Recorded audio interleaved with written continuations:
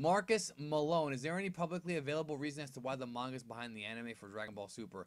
I think it's just Toyotaro is having to do it monthly and he can't really keep up with the series, I, I guess. I mean, he has his set ways of doing things with Toriyama and, you know, um, yeah, um, that's the only real reason I can think of. Just the anime caught up and they're going to have to do a lot of filler to allow Toyotaro to catch up, which they're not going to do. They're moving forward with the next arc. So, I mean, we already had like what seven weeks of filler from December to January. So, at this point, man, it's probably going to stay behind for a little while.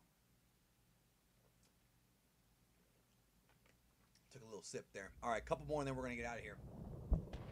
Do you think it's possible for half Saiyan race to transform into God mode? Um, I've already talked about this. I think that Super Saiyan Rage is that, but that's my theory. Okay, I don't want people going around saying it's a fact. That's my theory. Uh, do you think Super Saiyan Rage is equal to God mode form? I think it's close to it. Yeah, I actually do think so because Trunks is doing really, really well, really, really well. But again, that's my theory. We don't have enough information. Javier Ikari, or maybe Xavier, whatever you want. I, Javier's a Spanish way of saying it. Can you do a video on the original color schemes for how some of the villains would have looked like? For example, I think you mentioned in one of your visits Janemba was originally supposed to be blue, but they changed it. Yes. Um, yes, Janemba was originally like blue and gray. Um, I'm, I wasn't going to do a video on the color schemes of the villains. I was going to do a video about um, like original concepts that were never used or like rare images. I was gonna do that, but um, I'm still gonna do it. It's just a matter of getting it done. I had a big, big series planned for last year and for this year, and I haven't got to it yet. And I kind of hope that I get to it soon um, because it's, it's a massive series for the channel. I just have to, like, I just had surgery, so I'm kind of trying to take it easy this month. To be honest with you, I have a lot of videos, but I need to rest. Also, I need to rest. You know what I'm saying? Like right now, I'm actually in a little bit of pain. Still doing the Q and A, so uh, those videos are coming. They are coming. It's just a matter of me getting them done. And they will be done, I mean, without question. I got a bunch of big videos planned for this year. Mason Nelson, that's a cool fucking name, bro. If Uub is introduced after the Universal Tournament, uh, will Gohan even need a train when we have Goku, Vegeta, and the reincarnation of Buu? They don't really need him at that point, do they? so I agree. Pedro Mascoro, who do you think will give a better fight in the Universe War, Tien, Krillin, or Roshi? I'm hoping for Roshi. It'll probably be Krillin, but I'm hoping for Roshi because I want to see him kick more ass. Mike Lewis, do you think Cabba would have achieved SS2 in the new arc? I would write him to achieve SS2, yes, um, but uh, I don't think he will. Jacob Zane Thomas, what's the strongest technique in the Dragon Ball franchise? Somebody sent Xenofar. Actually, that's Brandon's right. Like the strongest technique in the whole Dragon Ball Saga franchise is Zen Zeno blowing up the 12 universes. I mean, come on now. Fuck that. Uh, let's see here. What would your parents say if you brought a black girl home? Come on, bro. That's a stupid question. Uh, Bella Virage, tell tell me all your thoughts about the new arc, like the Red Arc, Goku, Gohan. I did a whole video covering my predictions, brother, on the channel. It's on the the, the intro to breakdown channel. Go check that out. Uh, will Vegeta be the guy to save the day finally in Dragon Ball Super? I certainly hope so. I mean, I hope. I think his time has come. Josh, all right, I'm gonna ask you to answer two more. Uh, what is your opinion on the state of this country with Trump as president? I'm not answering that, brother. I'm getting to politics. Is it true Toriyama hates Vegeta? I already covered that on my channel. Go to the Talk Dragon Ball playlist and look up Does Toriyama Really Hate Vegeta and you'll see that video. David Garcia, what anime would you like Dragon Ball to have a crossover with? Not a two episode special like One Piece historical, but like a complete saga. Um, Dr. Slump, I wouldn't mind it. Um, one Punch Man, I think would be my number one pick. That's my number one pick. Um, Colin Farrar, do you think all the universes share the same heaven and hell? I don't think they do. I think they have their own heaven and hell. Matthew Blimline, uh, always assume transformations happen once at every race to a certain level of plateau. Your opinion is that more technique and mysterious? Uh, it depends on transformation, bro. That's. I think it totally depends on what it is, because like Majin Buu transformed when he absorbed people. Cell absorbed transform transform when he absorbed people. Frieza did it to conserve energy. So it depends on the transformation. Last question: Will Tien reach enlightenment and be at God level? Probably. Uh, actually, uh, hold on. Mel Hennessy Bautista says, "Can you shout me out?" Well, you're in the video, brother. So there's your shout out. Shout out to Mel Hennessy Bautista or Batista, whatever. I don't usually do shout outs, but he's in the video, so whatever. Daniel Fountain, do you think during the team fighting Shirley 17 team will team, but incorporate some technique of some sort of fusion like Super 18? I don't think we're going to see a fusion, but we are going to see some good ba- badass double team techniques. I think fusion is still going to be banned from the tournament. Anyways, thank you so very much for watching my 1000th video Q&A. Thanks so much. Of course, facebook.com slash geekdom101. Subscribe to Geekdom 101 if you have not. Punch that like button. More to come in the future. I'll talk to y'all down the road. And thank you so much for being here for a thousand videos. And I know most of you haven't seen all 1,000 of them, but even if you've seen one, I appreciate it. Talk to y'all later.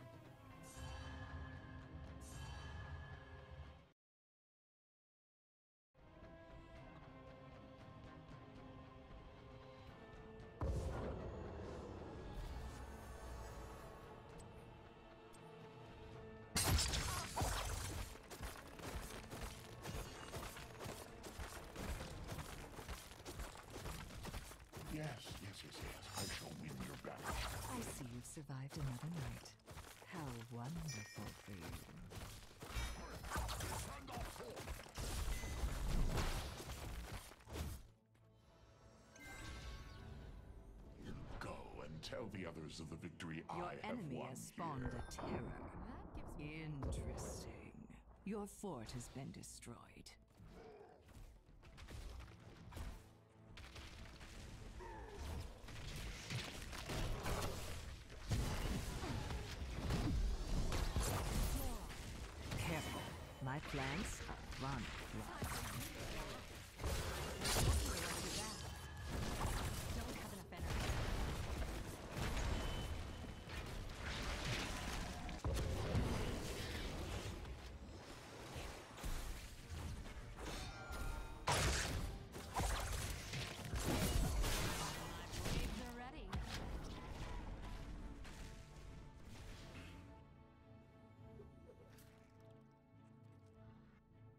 Carve my own. Keep at it. I'll be back in a minute.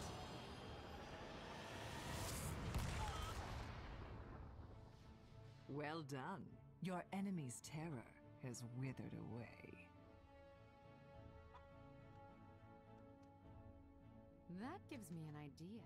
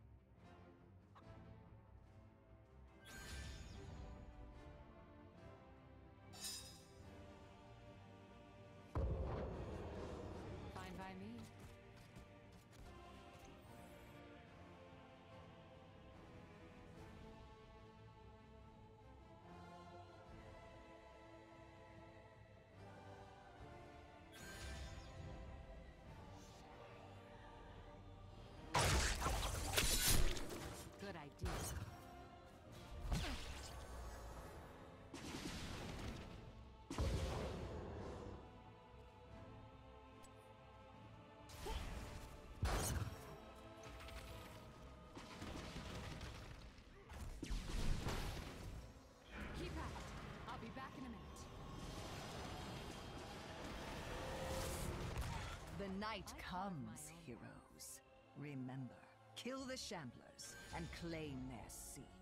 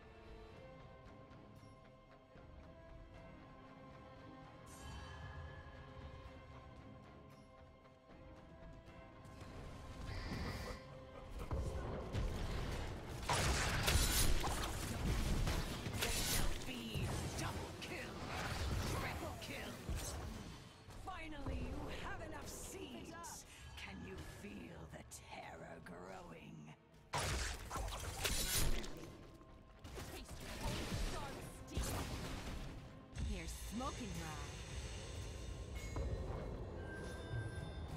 It is time to harvest. Bring my terror to life!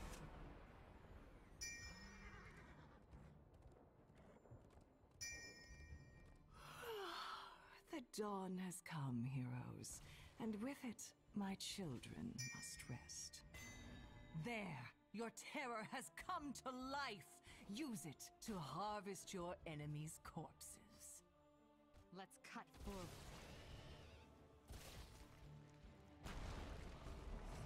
I hate to say it, but your enemy has spawned a terror.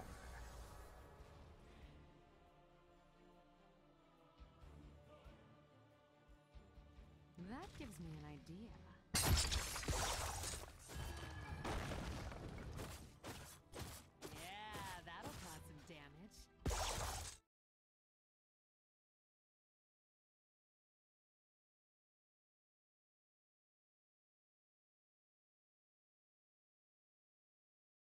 And uh, here we have a wild Paul. Oh, hello. Hello, Paul. Hi, Gamers Nexus viewers. You're all good people. You're smart. Discerning, I think. Well said. I'm just But trying you're to not as up. smart as Steven, you never will be, so stop even trying. I'm sick of it. Hey everyone, welcome to another episode of Ask GN. You can post your questions for next week's episode in the comment section below. There were a lot of really good questions last week, so I'm gonna get through as many as I can today. We've got a two-sheeter today. And you may have also seen the quick Paul and Kyle pre-roll for this video. We were with them at an event along with Jay, Killing Perspective. Legit Reviews, Hot Hardware, a couple of other people uh, for some new products that we'll be talking about later this week. So stay tuned for that. Before getting to the questions for this week, this coverage is brought to you by Catalyst Energy Mints. A three pack of Catalyst contains the equivalent energy of over 21 energy drinks, and it's 20 bucks, so it's a bit more portable and more affordable as well. You can use code GamersNexus for 5% off at the link in the description below. So let's get to the questions for this week. The first one we've got is from Lunchbox, who said, I have another question, Steve. Could you explain temporal filtering? I know Watch Dogs 2 uses it, and I hear that PS4 uses it, and Xbox Scorpio uses it, but I don't fully understand what it does. And that explains just about every graphics setting that has ever come out. Uh, even when you understand what it normally, what these things normally do, it tends to change from game to game because developers have different definitions and they have different execution of the technology. For these titles, for Watch Dogs and for previously Rainbow Six Siege, which sort of introduced this version of temporal filtering, uh, I've got some information for you. The basics are that with Rainbow Six Siege, temporal filtering, as it does with Watch Dogs, was supposed to improve your performance, and it does so at the cost of some graphics quality, which is normally how it goes. Temporal filtering is also not the same as temporal anti-aliasing. Temporal anti-aliasing, I think we've talked about in the past in articles on the site, but uh, the very basis of it, temporal anti-aliasing goes frame to frame. So whenever you see the word temporal, it means over time, and in games that often means frame A to frame B. Some kind of algorithm or number crunching happens where it looks at each frame and says, "What is the change between whatever I'm doing?" and let's just cut out anything that's not changed because that can save processing time. It's the same idea as with delta color compression at a very top level, where you have two frames. Frame one has a whole bunch of colors. Frame two has a whole bunch of colors in the same space, except for maybe uh, however many, a couple hundred thousand pixels or something like that. And that would be the things you would change, so you don't need to change the rest and save some processing time. With temporal filtering, what they're doing is the way that let's go the way Rainbow Six Siege does it first. They rendered the game at half of the target resolution. So your target's 1080, it renders at half of that from the engine side. Comes out of the engine rendered at half that resolution and comes out to your screen at 1080. But before that happens, before you see the image, there is an applied two tap multi-sample anti-aliasing to the to the frame. So two tap means 2x, so 2x MSAA, and what that means is it's taking two samples per pixel. It's just anti-aliasing like normally, uh, but Alright. basically they're rendering a lower resolution then smoothing it. So the idea is better performance, and in theory, not that bad quality reduction. With Rainbow Six Siege, didn't quite work that way. There was actually a lot of quality reduction, primarily in really fine geometry or primitives in the scene. You kind of lose some quality in small triangles and things like that, polys. Uh, and in Watch Dogs 2, if you look at it carefully, there's not as much quality loss. They're still pulling the same trick for performance gain, but the there's some loss if you look really closely at self-shaded objects, things like plants. If you look at the contrast in those types of surfaces, there's some loss in the now. ambient occlusion in some areas of the game, and that would be more shading, shadowing, stuff like that. Uh, and there's a little bit of law, a little bit of aliasing introduced, and a little bit of loss in uh, in other sort of uh, minor qualities, shadows, stuff like that. Uh, but that's the idea. Is it's supposed to So reduce the amount of work required to render the scene by rendering at a lower resolution out of the engine and sort of upscaling it to what your monitor sees uh, with some kind of multi-tap anti-aliasing applied to smooth things out. That's the idea. And the fact that it's temporal means that it normally looks better in action than in a side-by-side comparison, which is really the only good way to demonstrate it in screenshots online. So it's one of those things you have to try for yourself. I generally don't like it, but with Watch Dogs 2, it's not as noticeable as normally. That Next gives me an question. Crimson Sunrise asks, Steve, if USB is so fast and kick-ass as manufacturers keep saying in advertising on gaming peripherals, I feel like we're back in USB 1.0 or something. Uh, why even high-end enthusiast motherboards have at least one PS2 connector? Sure, can't be for legacy, as no enthusiast would be caught dead using a PS2 keyboard or mouse, even though the first version of the SteelSeries 7G was PS2. Uh, could it be that PS2 is still faster because it's CPU interrupt as opposed to a polling-based solution? Uh, it is interrupt, that's correct. I think the, the I haven't asked any motherboard vendors recently. I used to ask this. I probably asked this at CES 2014. And generally, the answer to this type of question, uh, maybe the less obvious answer, is for a lot of these older or legacy technologies, they are on the boards like serial and COM ports or combo ports, things like that, because uh, in Asia, there's still a lot of use of devices that are enabled by those older interfaces, and Asia is a large part of the market. So that's always one of the lesser considered reasons to keep old technologies and interfaces around. The other one would be you may have noticed if you work with a lot of systems that some systems have trouble detecting input devices when they're not in those first two USB ports up at the very top of the I/O doing a normal motherboard orientation, and uh, and you've got to plug stuff in there to be detected on some boards because there's just trouble in BIOS otherwise. I think some of it goes back to that, where you know that PS2 will always work. You can plug a, plug a PS2 device in, and if you're just working with BIOS or some legacy software task, you know it's going to work.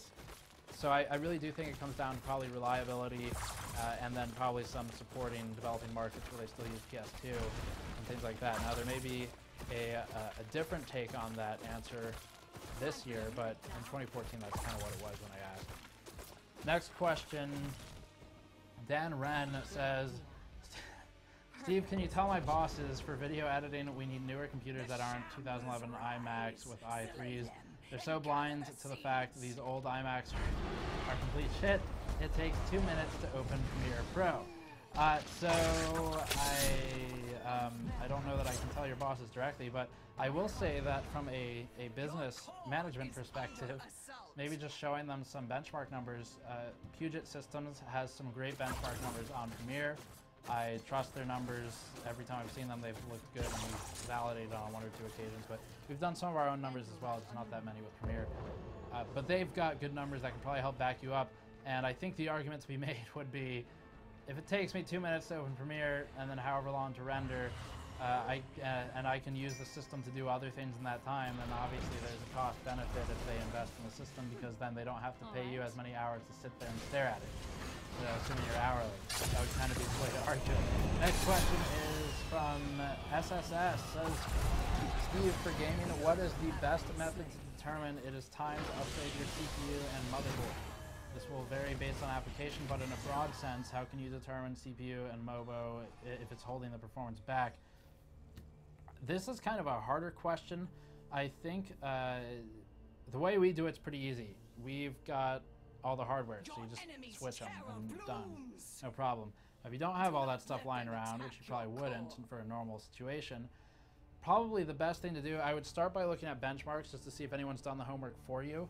Look up benchmarks, and what you want to do is look up a CPU benchmark for your CPU and look up a GPU benchmark for your GPU. And here's a pro tip because of the way Google works and the way editors title their articles, you may want to look for a recent game rather than an overall benchmark of the product. So if Watch Dogs 2 just came out or something, and you probably want to look up a few different games, but Watch Dogs 2, For Honor, stuff like that. Look up the benchmarks for those specific games for CPU and GPU, and then get those numbers because they're going to be brand new, uh, and that will help you figure it out. Now, if you don't want to go that route, you could play around with benchmarking yourself by picking a title that you know for sure is either CPU or GPU bound, and then play around with the settings until you can create a bottleneck on the other component.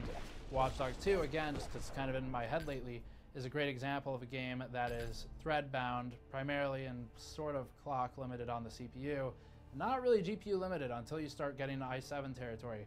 Uh, so if you use something like that, you know you're creating a CPU bottleneck and you can see where does your GPU perform, and then you still probably want to look up a, a benchmark for that card that someone else hopefully has conducted. We've got a lot of them, uh, and you can see where it can perform with something like an i7. That would give you an idea, a baseline. That's probably where I'd start. Now, other things, of course, aged architectures mean you normally have aged I/O as well. So if you want NVMe or something, it almost doesn't matter what the performance difference is elsewhere in the system if that's all you care about, because you won't get that on something like Sandy Bridge. Uh, so that's something to consider as well. But basically, benchmarking. You create a scenario where you know one component for sure is bottlenecked because you understand the game or someone else has explained it to you, and uh, and then you should know how much you're choking on that component, whatever it is. Next question, Kroner Gaming says, "Hey Steve, what is the maximum voltage for everyday using on Skylake? Thank you and keep up."